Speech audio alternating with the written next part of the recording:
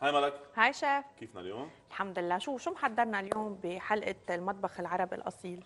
اليوم حنعمل آه، من المطبخ الشمال الافريقي المطبخ الليبي okay. اللي هن المطابخ كمان ال- ال- الغنية بالطعمات بالمواد اللي بيستعملوها.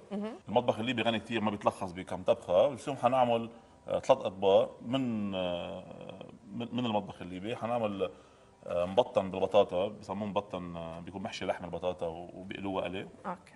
أما في اوقات عمى صينية آه، حنعمل آه، آه، فطيرة باللحمة وحنعمل آه، الحلو آه، اللي هن فطيرة باللوز وال- يعني لوز وجوز الهند. okay. فالمطبخ الليبي هو المطابخ اللي كثير مؤثرة أكيد بالمطابخ اللي جنبها يعني عندك المغرب عندك تونس مصر، عندك. الجزائر السودان مصر. وعنده كثير تاثر بالمطبخ الإيطالي. آه، لأنه الإيطالية عاشوا بليبيا مدة معينة. آه okay. هلأ حنبلش أول شيء نقلي اللحمة نجهز رح نستعمل لحمة طبقين. أول وحدة حنكون فيها اللحمة مع بصل آه، وبقدونس آه، ملح وجوز الطيب هيدي لحشوة اللحمة لحشوة الفطيرة. ثاني وحدة حيكون فيها آه، أعشاب أكثر وبندورة اللي بنحشي فيها ال- ال- البطاطا. okay. حنبلش أول شيء نحمل الزيت. يلا. ونحمل آه، سوري الطنجره وزيت زيتون. مثل ما قلنا كل أكلهم في زيت زيتون. كل أكلهم كل أكلهم. من ال- البلدان اللي بيستعملوا كثير زيت زيتون بمطبخهم.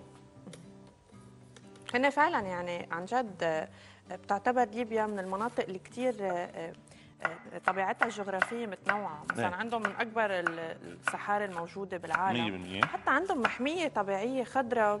انه تفاجات إنه آه، حسب ما قريت إنه أكبر من لبنان. هيدي إيه. المحمية الطبيعية اليوم الخضراء اسمه الشجر الجبل الأخضر. ال- بالنهايه اليوم ليبيا من من البلدان كثير كبيرة مساحة. مم. وعندهم آه، حدود مع البحر الأبيض المتوسط. عندهم حدود مع مصر من ميلة فإجباري هالمنطقة يكون فيها خضار شي محل. آه، من وراء البحر الأبيض المتوسط اللي هو ال- بال- بالاجمال معتدل الطقس بس أكيد كمان عندها صحراء كبيرة. مزبوط آه، مثل آه، مثل بلدان المغرب العربي. في شقف خضر شقف فيها صحراء. والأكل طبعا كثير بتشابه ببعضهم. يعني الطاجن في طاجن هون في. طاجن هون الكسكس في طاجن كسكس هون وكسكس هون. كل بلد لأنه في عندهم هن مثل تقولي جدود جذور وحدة اللي هن البربر. اللي كانوا عايشين بال بالمنطقة هون بس بعدين أكيد إجوا العرب آه، وفد كمان الأكل العربي انخلط مع الأكل ال- ال- الليبي الأصلي الأساسي يعني اللي هن كانوا الشعوب. اللي عايشوا هونيك البربر. واليوم بنشوف المطبخ الليبي مثل ما هو هلأ.